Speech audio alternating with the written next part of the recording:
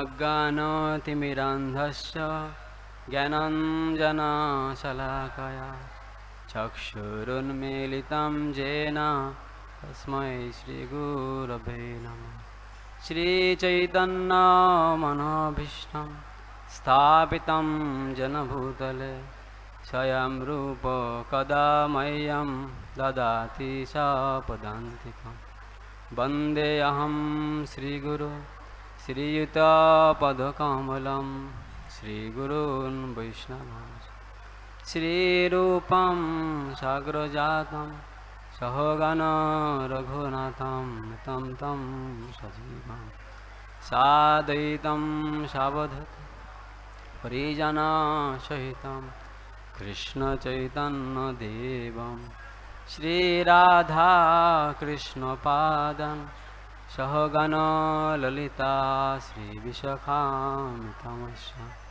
नमयं विष्णुपादाय कृष्णपृष्ठाय भूतले। श्रीमते जयपताका स्वामिनिति नामिनि। नमो आचार्यपादया निताय कृपाप्रदायिने। गौरकथाधमदाय नागुर्गामतारिणे। नमो विष्णुपादाय कृष्णपृष्ठाय भूतले। श्रीमते भक्तिवेदान्त स्वामिनिति नामिने। नमस्ते सारस्वतीदेवे ने प्रचारिणे। निर्विशेषशून्यवादी पश्यत्वदेशतारिणे वाञ्छाकल्पतरुभस्य कृपा सिन्धुभयेव च पतितानं पावनेभ्यो वैष्णवेभ्यो नमो नमः। नमो महावदन्नाय कृष्णप्रेमप्रदायते कृष्णाय कृष्णचैतन्य नाम्ने गौरतिशे नमः। पञ्चदत्तात्मकं कृष्णं भक्तरूपो स्वरूप अवतारं भक्तक्षं नमामि भक्तशक्तिकम् हे कृष्णा करुणा सिन्धु दीनबन्धु जगत्पते। गोपेश गोपिकान्त राधाकान्त नमस्तु ते तप्तकाञ्चन गौराङ्गे हे वृन्दावनेश्वरि वृषभानुसुते देवी प्रणमामि हरिभ्ये नीलाचलनिवासाय नित्याय परमात्मने। बलभद्रसुभद्राभं जगन्नाथाय ते नमः। वृन्दायै तुलसीदेव्यै प्रियायै केशवस्य च विष्णुभक्तिपदे देवी सत्यवत्यै नमो नमः। जय श्रीकृष्ण चैतन्य प्रभु नित्यानन्द अद्वैत गदाधर शिवासदि गौरभक्तवृन्द हरे कृष्णा हरे कृष्णा कृष्णा कृष्णा हरे हरे। हरे राम हरे राम राम राम हरे हरे। ॐ नमो भगवते वासुदेवाय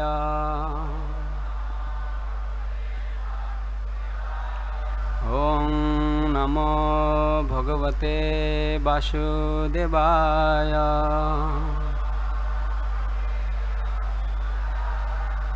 ॐ नमो भगवते वासुदेवाय।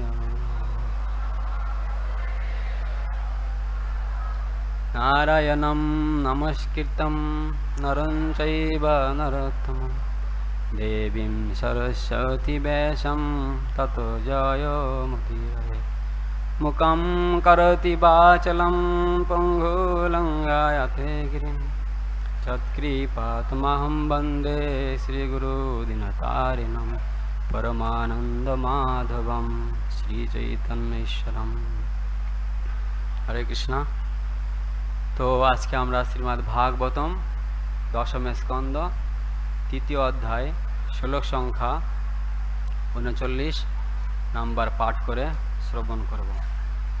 শ্লোকটি বোর্ডে লেখা আছে। আপনারা সকলে আমার সঙ্গে পুনরাবৃত্তি করবেন। অজুষ্টা গ্রাম্য বিষয়া বনপত্তৌ চ দম্পতি। ন বুব্রাথে সর্বং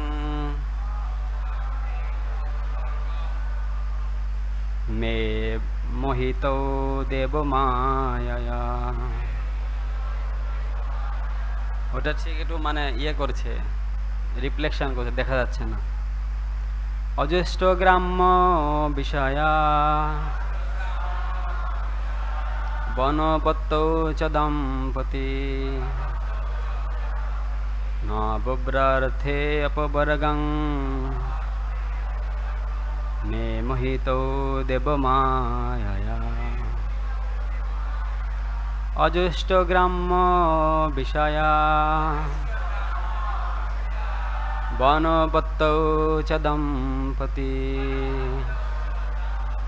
अर्थे बुभ्रार्थे अपवर्गम् বুব্র অর্থে অপবর্গং মে মোহিত দেবমায়া তো আপনারা কেউ বলুন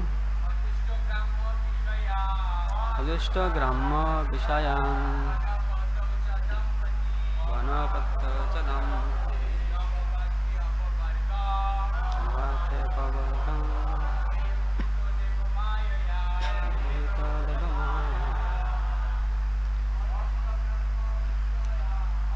অজুষ্ট গ্রাম্য বিষয়াং বনপত্ত চ দম্পতি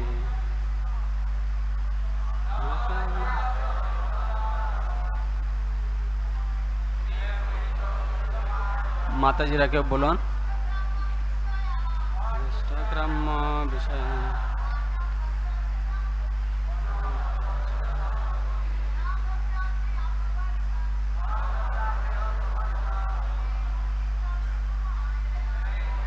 হরে কৃষ্ণা এই শ্লোকের শিলা প্রপাতকৃত শব্দার্থ, অনুবাদ এবং তাৎপর্য। অজস্ট গ্রাম্য বিষয়ও মৈথুন ধর্ম এবং আমার মতো সন্তান উৎপাদন করার জন্য। বনপত্তও সন্তানহীন হওয়ার ফলে চ ও দম্পতি পতি এবং পত্নী উভয়ে ন কখনোই না। বভ্রাতে অন্য কোনো বর প্রার্থনা করেছিলেন। অপবর্গম এই জগতের বন্ধন থেকে মুক্তি। মেয়ে আমার থেকে মোহিত অত্যন্ত আকৃষ্ট হয়ে দেব মায়া আমার প্রতি দিব্য প্রেমের দ্বারা। তোমাকে তোমাদের, আমাকে তোমাদের পুত্ররূপে আকাঙ্ক্ষা করে। শিলা প্রপাতকৃত অনুবাদ। তোমরা নিঃসন্তান দম্পতি মৈথুন ধর্মে আকৃষ্ট হয়ে দেবমায়ার প্রভাবে আমার প্রতি চিন্ময় প্রেম বশত আমাকে তোমাদের পুত্ররূপে আকাঙ্ক্ষা করেছিলে। তাই তোমরা এই জড়জগতের বন্ধন থেকে মুক্তি কামনা করনি। আপনারা সকালে বলুন, তোমরা নিঃসন্তান দম্পতি মৈতুন ধর্মে আকৃষ্ট হয়ে দেবমায়ের প্রভাবে আমার প্রতি চিন্ময় প্রেম বশত আমাকে তোমাদের পুত্ররূপে আকাঙ্ক্ষা করেছিলে। তাই তোমরা এই জড়জগতের বন্ধন থেকে মুক্তি কামনা করনি। শিলা পৌপাতকৃত তাৎপর্য। সুতপা এবং কৃষ্ণের সময় থেকেই বসুদেব ও দেবকী দম্পতি ছিলেন এবং ভগবানকে তাদের পুত্ররূপে প্রাপ্ত হওয়ার জন্য পতি এবং পত্নীরূপে থাকতে চেয়েছিলেন। এই অনুরাগ দেবমায়ার প্রভাবেই উৎপন্ন হয়েছিল। শ্রীকৃষ্ণকে পুত্র স্নেহ করা বৈদিক বিধির অন্তর্গত। বসুদেব এবং দেবকী ভগবানকে তাদের পুত্ররূপে প্রাপ্ত হওয়া ছাড়া আর অন্য কোনো বাসনা করেননি। এবং সেই উদ্দেশ্যে তারা আপাত দৃষ্টিতে সাধারণ গৃহস্থের মতো মৈথুন ধর্মপরায়ণ হয়ে জীবনযাপন করতে চেয়েছিলেন। যদি সেটি ছিল, যদিও সেটি ছিল চিন্ময় শক্তির আদান প্রদান, তবুও তাদের এই বাসনা দাম্পত্য জীবনের মৈথুন ধর্মের প্রতি আসক্তির মতো বলে মনে হয়েছিল। কেউ যদি ভগবত ধামে ফিরে যেতে চান, তাহলে এই প্রকার বাসনা পরিত্যাগ করা তার পক্ষে অবশ্যই কর্তব্য। তীব্র ভগবত প্রেমের প্রভাবেই কেবল তা সম্ভব হয়। শ্রী চৈতন্য মহাপ্রভু বলেছেন নিষ্কিনঞ্চস্য ভগবত ভজনন মুখস্য পারং পরং জিগমিশর ভবসাগরস্য। শ্রী চৈতন্য চতমেত মধ্য এগারো আট কেউ যদি ভগবত ধামে ফিরে যেতে চান, তাহলে তাকে অবশ্যই নিষ্কিঞ্চন হতে হবে।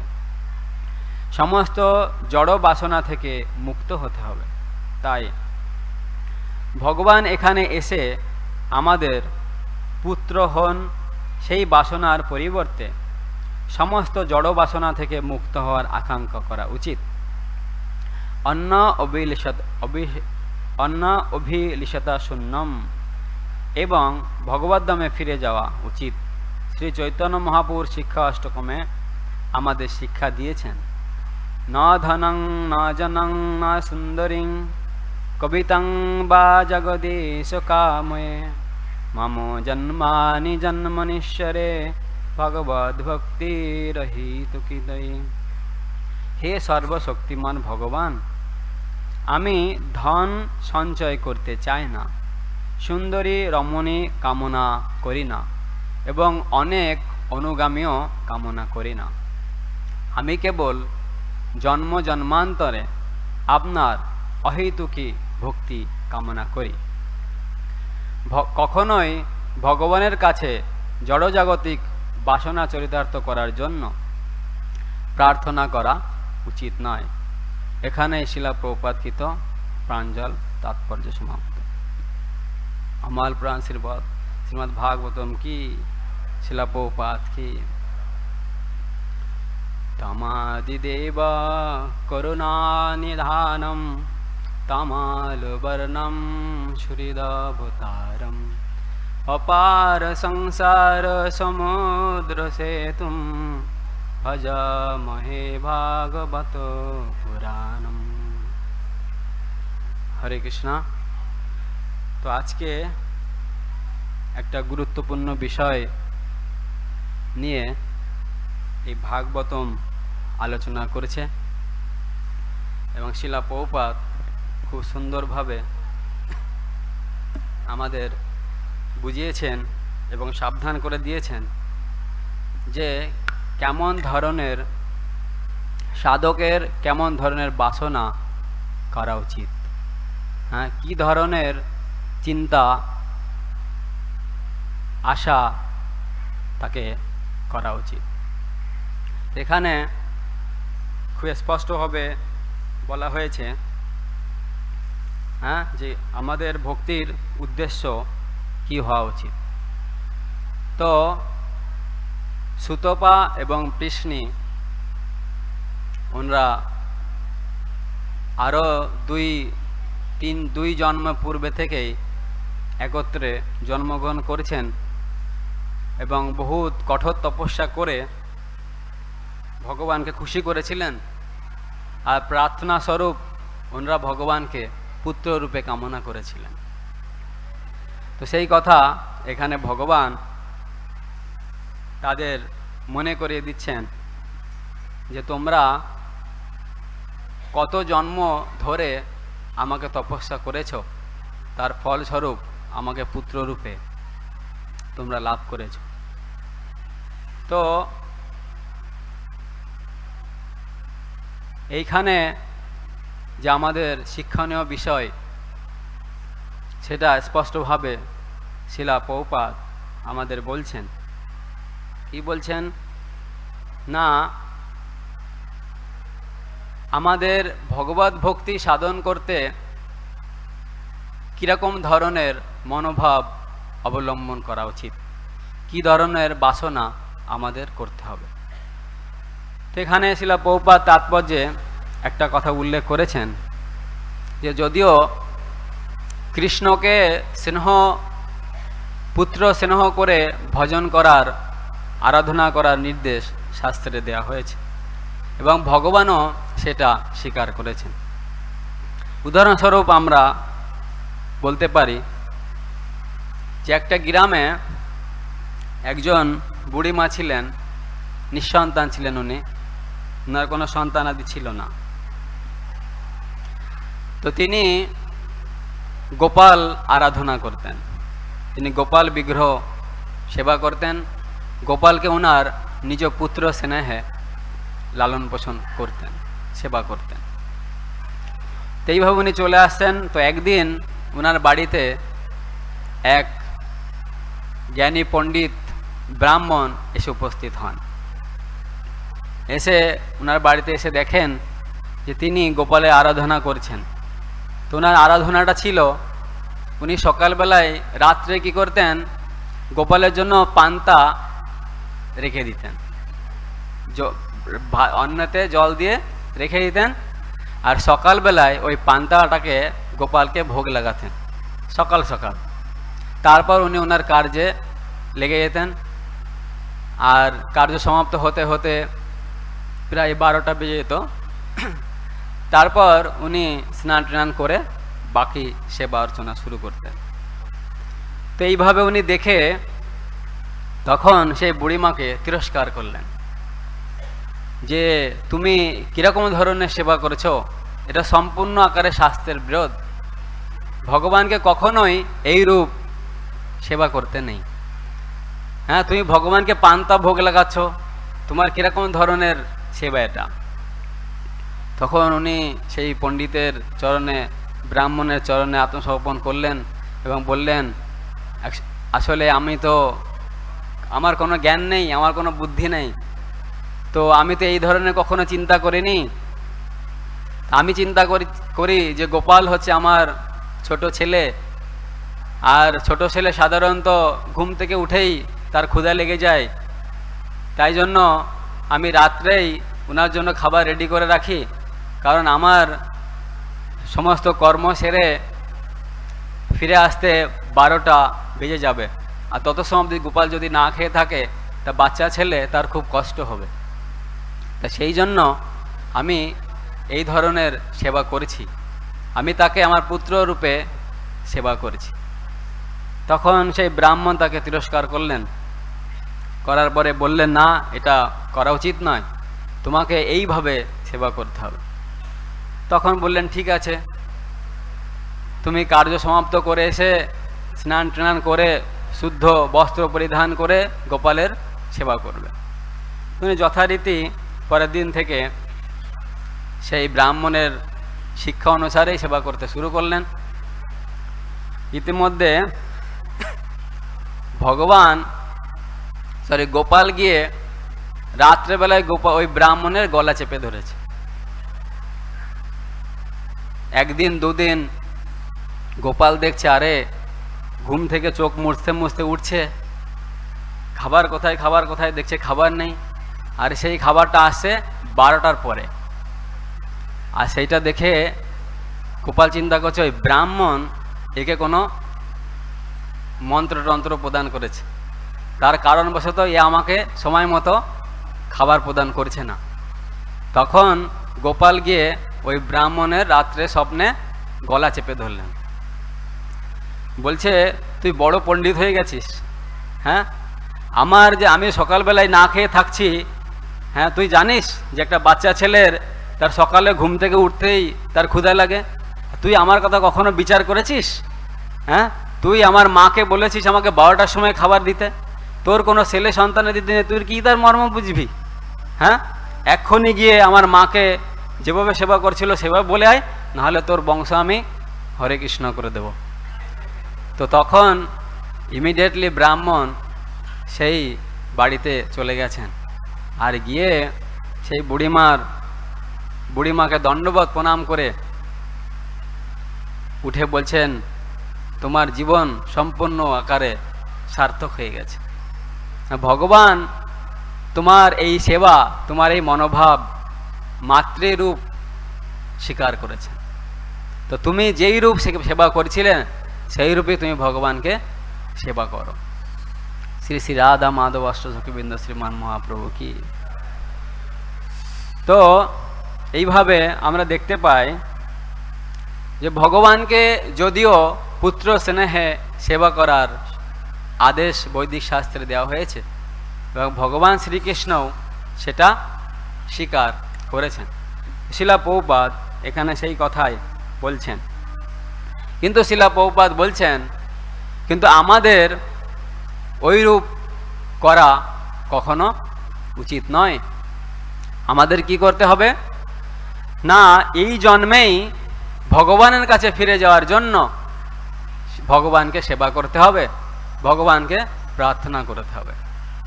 এক সময় ছিল প্রভুপাদ গুরু মহারাজকে শ্রী শ্রীমা জয়পতাকা স্বামী গুরু মহারাজকে লেটার লিখেছেন যে, তুমি দেখো, আমার সমস্ত শিষ্যরা যেন এই জন্মেই ভগবত ধাম ফিরে যেতে পারে।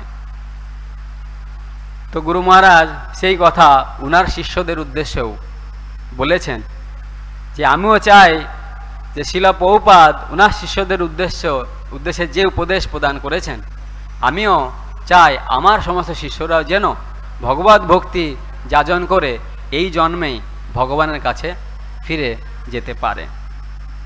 তো এইটাই শিলা পৌপাদ বহুবার বলেছেন যে আমাদের উচিত এই জন্মেই ভগবত ভক্তি সাধন করে ভগবানের কাছে ফিরে যাওয়া।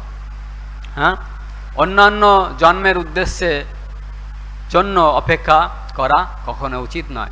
বা এমন কোনো বাসনা আমাদের করা উচিত নয় যে বাসনার কারণ হেতু আমাদের এই জগতে আবার জন্মগ্রহণ করতে হয়।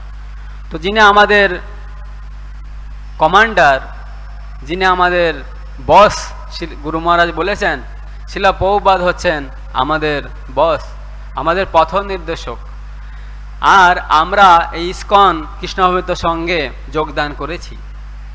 তাই সমস্ত যোগদানকারী ভক্তবৃন্দের সেই একই বাসনা হওয়া উচিত।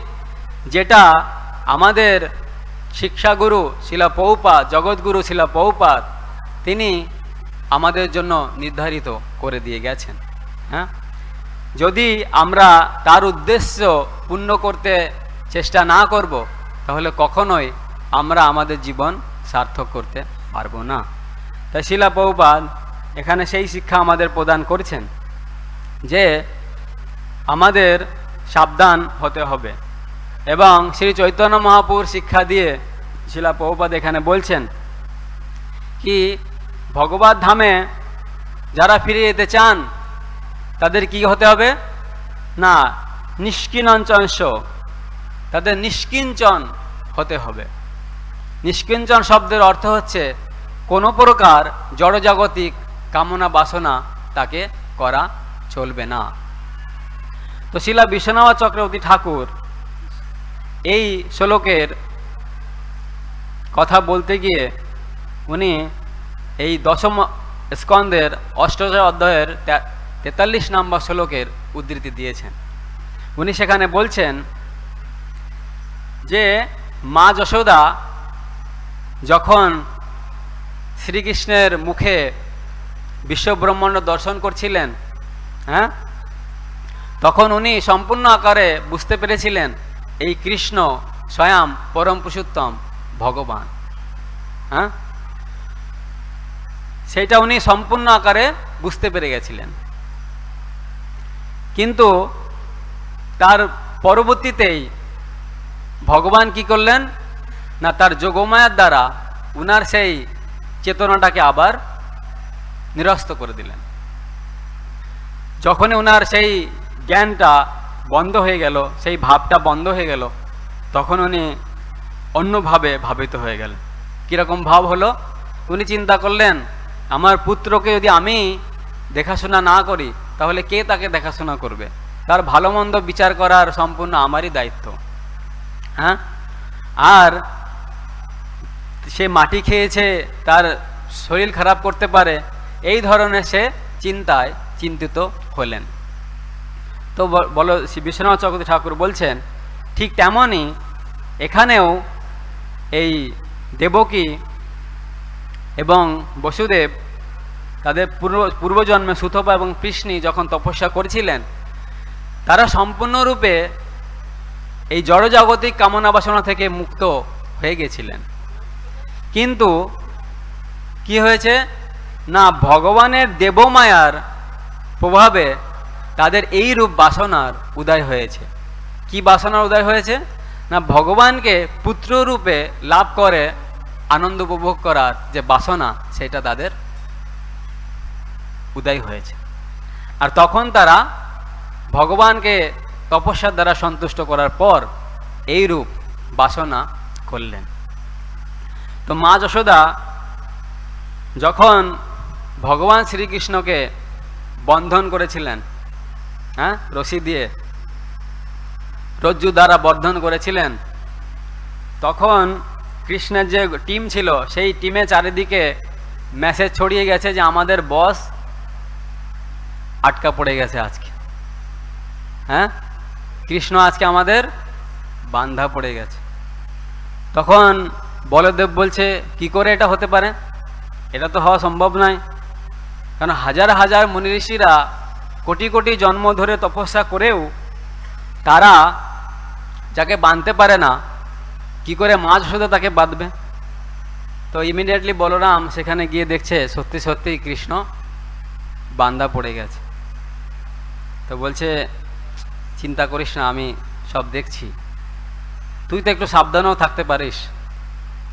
তো ঠিক আছে, আমি যাচ্ছি, দেখছি কি করা যায়। তখন তিনি মায়ের কাছে গিয়ে যশোদা আমাকে বলছেন, মা, দুই তিনবার ডাকছেন। তখন মা যশোদা মাতা বলছেন, কি হয়েছে? তো বলছে, কাজটা মনে হয় ঠিক হয়নি। সে কেন? বলছে, তুমি কৃষ্ণকে এরকম বেঁধে দিয়েছ, আর তুমি জানো কৃষ্ণকে? বলছে, কৃষ্ণকে? তখন সমস্ত প্রকার শাস্ত্রের সারমর্ম, বেদের উদ্দেশ্য সব মা যশোদাকে বললেন, কৃষ্ণ হচ্ছেন পরম পুরুষোত্তম ভগবান হ্যাঁ? তিনি সমস্ত অবতারের উৎস। আর তুমি তাকে এইভাবে বেঁধে রেখে দিয়েছ। এখনই তুমি ওকে ছেড়ে দাও। তখন মা যশোদা বলছে আচ্ছা কৃষ্ণ, পরম পুরুষোত্তম ভগবান, সমস্ত অবতারের উৎস, আর তুই কে? বলছে, আমি অনন্ত শেষ। আমি এই বিশ্বব্রহ্মাণ্ডটাকে ধারণ করে থাকি। বলছে আচ্ছা সমস্ত অবতাররা আমার এখানে এসে, আমার ঘরে এসে হানি করেছে। তখন মা যশোদ একটা লাঠি নিয়ে বলছে, ঠিক আছে, তোদের অবতার আজকে আমি দেখাচ্ছি। তো এইভাবে এখানে ভগবান আচার্যরা বলছেন যে, বাৎসল্য যে ভক্তি, এই ঐশ্বর্য ভক্তি দিয়ে সেটাকে কখনোই তুচ্ছ করা যায় না। তো ভগবান দেখাচ্ছেন যে, বাৎসল্য ভক্তি কত? শ্রেষ্ঠ। তা মা যশোদা বাৎসল্য রসের ভক্ত। তাকে ঐশ্বর্য রসের দ্বারা কেউ স্বয়ং বলদেবের প্রবচনও তাকে ঐশ্বর্য রসের দ্বারা আকৃষ্ট করতে পারল না। এখানে বাৎসল্য রস সেখানে রয়েছে। আর সেটা ভগবানের যে উচ্চতর ভক্ত, তাদের পক্ষেই সেটা সম্ভব।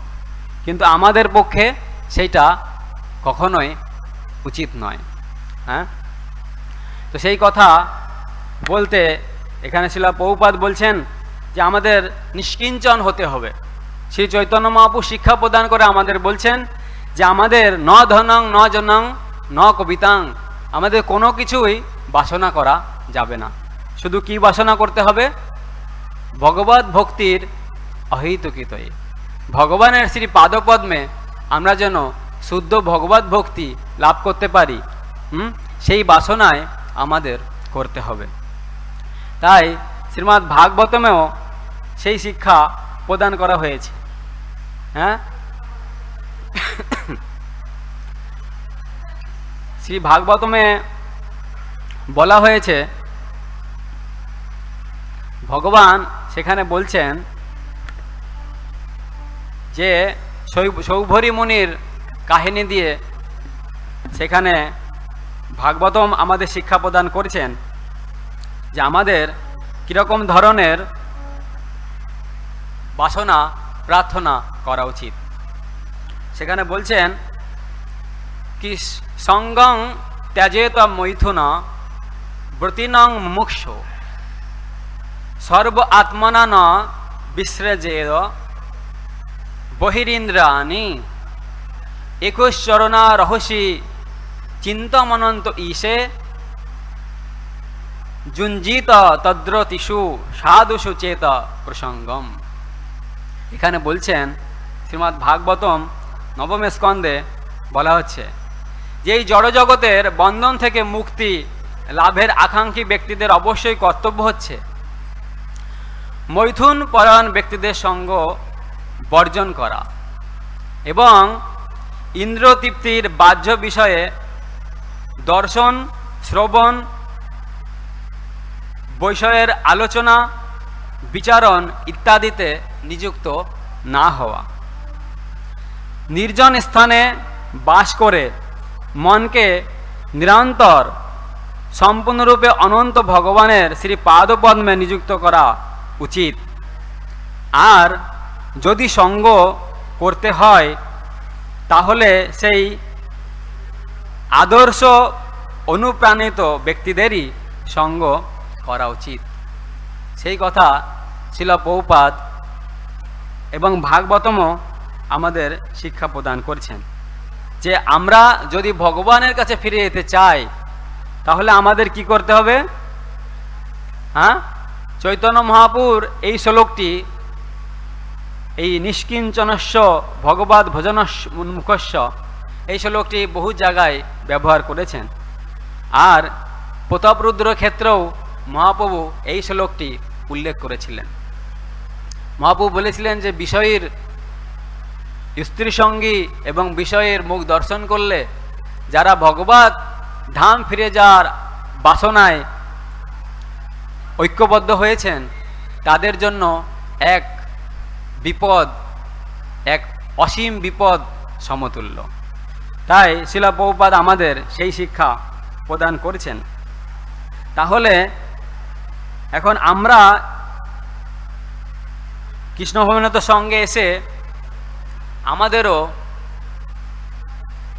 বহু প্রকার মানুষের সঙ্গে মিশতে হয়। তাদের সঙ্গে আমাদের চলাফেরা করতে হয়। সেই ক্ষেত্রে আমরা এটা কীভাবে এড়াতে পারি। তো শিলা বহুপা সেই শ্লোকে তাৎপর্য বলছেন, যে ব্যক্তি জড়বন্ধন থেকে সম্পূর্ণরূপে মুক্ত হওয়ার অভিলাষী, তিনি কেবল ভগবানের প্রেমময়ী সেবায় যুক্ত হতে পারেন। তার পক্ষে মৈথুনাসক্ত বিষয়ের সঙ্গ করা একেবারে উচিত নয়। প্রত্যেক জড়বাদী ব্যক্তি মৈথুনে আসক্ত, অর্থাৎ উন্নত স্তরের স্তরের মহাত্মাকে বিষাসক্ত ব্যক্তিদের সঙ্গ বর্জন করার উপদেশ দেওয়া হয়েছে। শিলা নরোত্তম দাস ঠাকুর নির্দেশ দিয়েছেন, আচার্যের সেবায় যুক্ত হতে হবে এবং আদৌ যদি সঙ্গ করতে হয়, তাহলে কেবল ভগবত ভক্তের সঙ্গ করা কর্তব্য। তাদেরও চরণসেবী ভক্ত শনে বাস ভগবত ভক্ত তৈরি করার জন্য কৃষ্ণ ভবনামৃত আন্দোলন বহু কেন্দ্র প্রতিষ্ঠা করেছে, যাদের এই সংস্থার সদস্যদের সান্নিধ্য লাভ করে মানুষ আপনা থেকেই জড়জাগতিক বিষয়ের প্রতি অনাসক্ত থাকেন। যদিও এই আদর্শটি অত্যন্ত উচ্চ, কিন্তু চৈতন্য মহাপ্রভুর কৃপায় চৈতন্য মহাপুর কৃপায় সঙ্গ কার্যকরী বলে প্রতিপন্ন হয়েছে। কৃষ্ণভনামৃত আন্দোলনের সঙ্গ ভক্তদের সঙ্গ করে, প্রসাদ গ্রহণ করে এবং হরে কৃষ্ণ মহামন্ত্র কীর্তনে অংশগ্রহণ করে সাধারণ মানুষও পারমার্থিক উন্নতি সাধন করছে। হ্যাঁ? তো শিলা পৌপাত বারবার আমাদের একই কথা বলছেন। আর এবং আমাদের এই সোসাইটির উদ্দেশ্য সম্বন্ধে তিনি বলছেন যে আমাদের উদ্দেশ্য কি? না, ভগবত ভক্তি যাজন করে এই জন্মেই ভগবানের কাছে ফিরে যাওয়া। তো অমৃত লাভ করতে পারলে আমরা অমরত্ব প্রাপ্ত হতে পারব। সেই কথা শাস্ত্রে বর্ণনা করা হয়েছে। এখন এই অমৃত আমরা কোথায় লাভ করতে পারব। শাস্ত্রে অমৃত সন্ধান দেওয়া হয়েছে, কিন্তু স্থান কোথায়? তো পণ্ডিতগণ পাঁচটা স্থান দিয়েছেন, যেখানে আমরা অমৃত পেতে পারি। কি বলছে? অবধৌ বিধৌ বধুমুখে ফণি নাম নিবাসে। হ্যাঁ? স্বর্গে সুধা বসতি বই বিদুতা হ্যাঁ? তো প্রথম কি বলছেন? অবধৌ। অবধৌ মানে অবধি, মহাসাগর, সিন্ধু। সিন্ধু গর্ভে অমৃত, শুনেছি নাকি সিন্ধু গর্ভে অমৃত পাওয়া গিয়েছিল। সেখানে অমৃত থাকতে পারে। যখন সমুদ্র মন্থন হয়েছিল হ্যাঁ সমুদ্র মন্থন করার মাধ্যমে কোথা থেকে অমৃত বেরিয়েছিল? সিন্ধু থেকে। তার মানে অবধৌ। সমুদ্রে হয়তো অমৃত রয়েছে। অন্য পণ্ডিত বলছে, না, বিধৌ। বিধৌ মানে চন্দ্র। চন্দ্রলোকেও, চন্দ্রলোকে অমৃত থাকতে পারে। কেন সেখানে সোমরাস পান করে থাকে তারা? হ্যাঁ? সেখানে অধিবাসীরা সোমরাস পান করে। সেখানে নিশ্চয়ই অমৃত রয়েছে। হ্যাঁ? তারপর কোথায় অমৃত থাকতে পারে? না, আরেকজন পণ্ডিত বলছেন হ্যাঁ মুন্ডে মুন্ডে মতির ভিন্না। কেন বিভিন্ন বিভিন্ন পণ্ডিত মনির তাদের মত ভিন্ন ভিন্ন ধরনের। তাই বলছেন, তাহলে কোথায় অমৃত পাওয়া যেতে পারে? না, নিশ্চয় বধুমুখে। নিশ্চয় বধুমুখে অমৃত রয়েছে। যারা যারা বিবাহ করবেন যে বধূ, তাদের মুখে নিশ্চয়ই অমৃত রয়েছে। তাদের মুখ দেখতে দেখতে কি হচ্ছে? না, পতিরা মৃত্যুবরণ করছে। তা নিশ্চয়ই তাদের যদি কেউ দেখতে থাকে, তাহলে সে বুঝতে পেরে যাবে যে অমৃত সেখানে রয়েছে। তো অন্য পণ্ডিত বলছে, না, ফণিনাম নিবাসে। নিশ্চয়ই কোথায় রয়েছে? না, সর্পলোকে। সর্প যেখানে থাকেন, নিবাস করেন, সেখানে নিশ্চয়ই এই অমৃত রয়েছে। কেননা ভীমকে যখন বিষ পান করে ছেড়ে দেওয়া হয়েছিল, তখন ভীম কোথায় গিয়ে উঠেছিল? সর্পর লোকে গিয়ে সেখানে উঠেছিল। আর সর্পরা যখন দংশন করেছিল, তখন তার ভিতরে যে বিষ আর তাদের বিষের রিয়াকশানে বিষে বিষ কেটে গেল। আর তখন তিনি জানতে পারলেন যেখানে অমৃত রয়েছে, তার সর্পলোকের অধিবাসীরা তাদের অমৃত পান করেছিলেন তাহলে বোঝা যাচ্ছে না, নিশ্চয়ই এই সর্পলোকে অমৃত রয়েছে। তারপর অন্য পণ্ডিত বলছেন না, নিশ্চয়ই স্বর্গে অমৃত রয়েছে।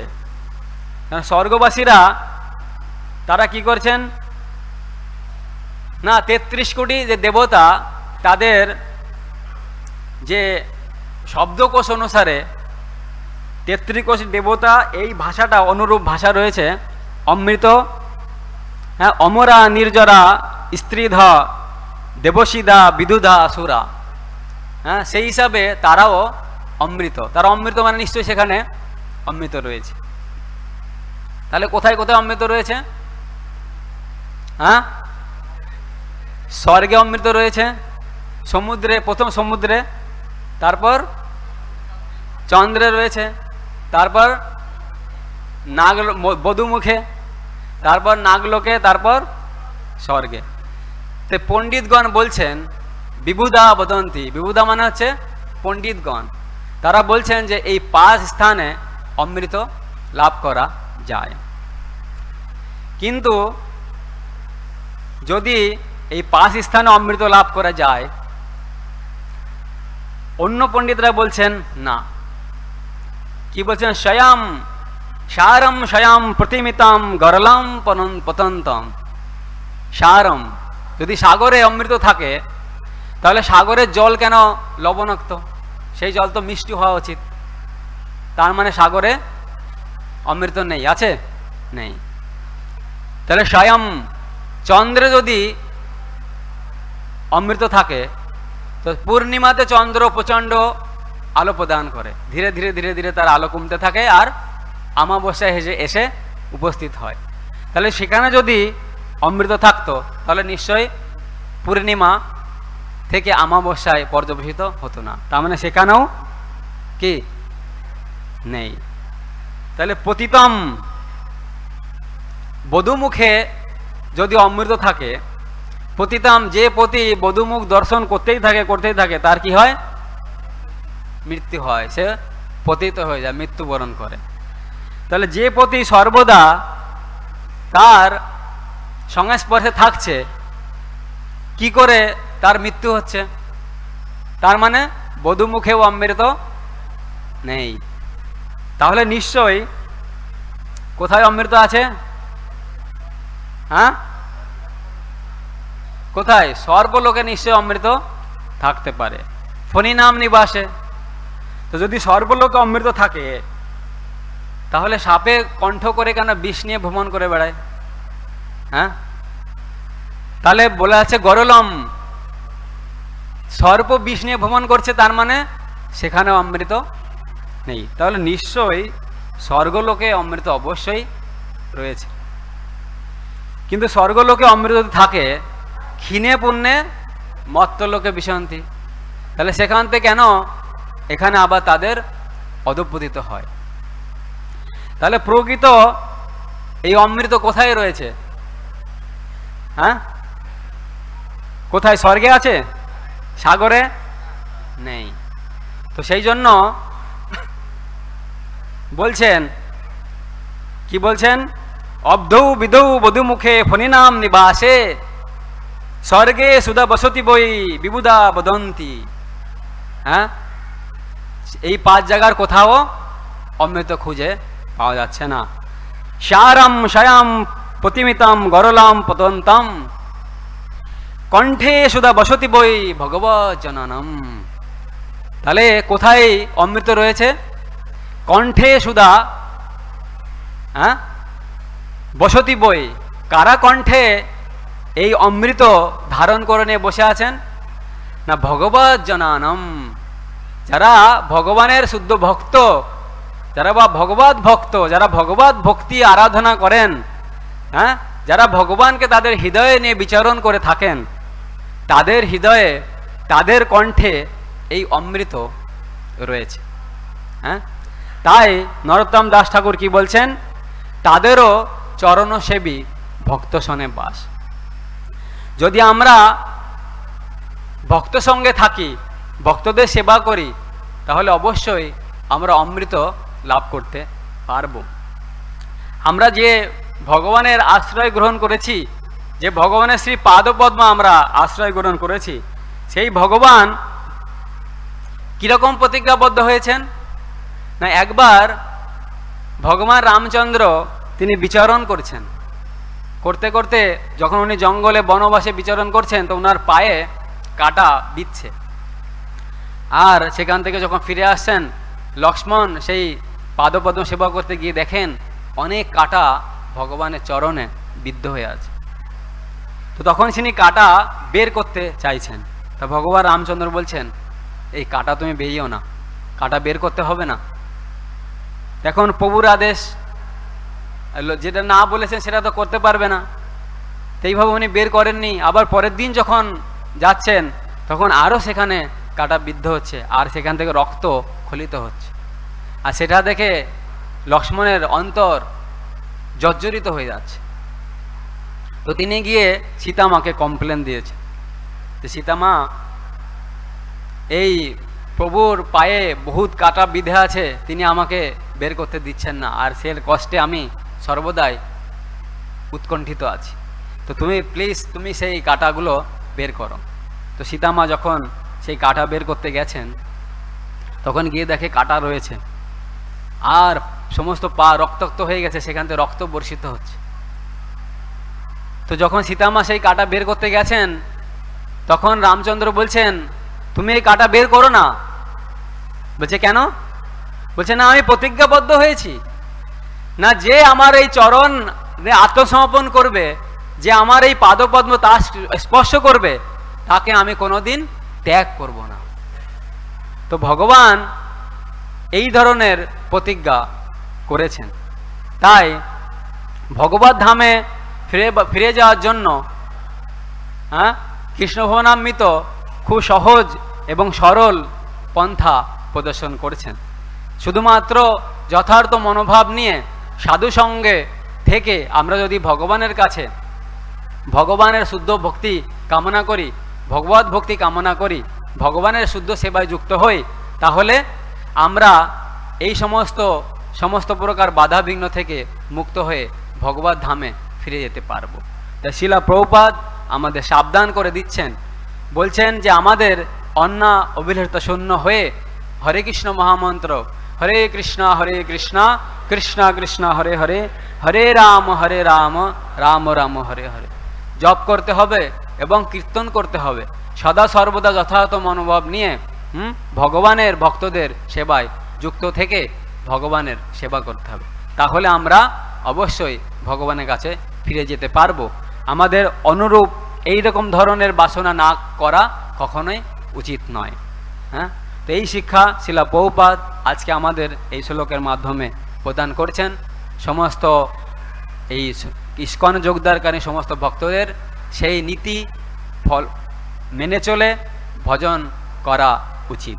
হরে কৃষ্ণ হরে কৃষ্ণ কৃষ্ণ কৃষ্ণ, হরে হরে হরে রাম হরে রাম। রাম রাম হরে। তো সময় অতিক্রান্ত হয়ে গেছে। যদি আমার কথায় কোনো ভুল ত্রুটি হয়ে থাকে, আপনারা আমাকে ক্ষমা করবেন। বাঞ্ছাকল্পতরুভস্য, কৃপা সিন্ধু এ বচা, পতিতানাম পাবনেভ্য বৈষ্ণব হরে কৃষ্ণ।